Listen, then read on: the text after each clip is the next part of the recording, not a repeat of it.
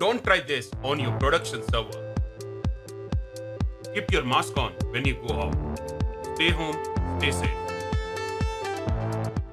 Hi there, this is Pinal Dave and welcome to another episode of SQL in the 60 seconds. Today we are going to talk about shutdown. In industry, when I see DBA stopping service for SQL Server, they often go to services or just go over this particular place to shut down the service. However, there is one another method which I don't see people using it.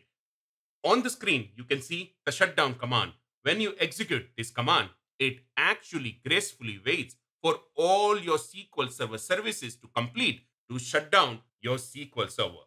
You can check that by clicking on messages. Over here, you can see how many processes are currently running.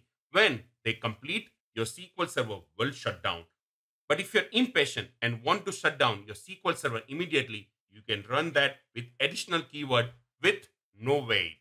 Just execute that and your SQL Server will shut down. Well, there you go. Very quick tip for you. Please do not forget to subscribe this video because I'm really counting on you. I'll see you soon in another episode of SQL in the 60 seconds.